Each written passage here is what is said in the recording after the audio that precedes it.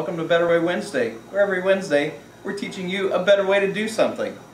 This Wednesday is a better way to eat a donut. Step one, acquire a donut. Step two, acquire coffee. Step three, place acquired donut on acquired coffee. Step four, wait 30 seconds.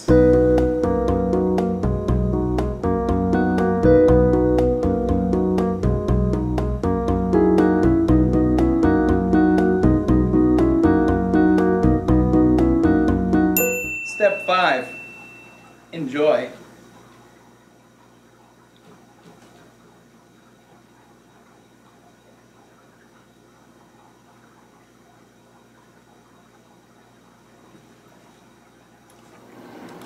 Has been Better Way Wednesday.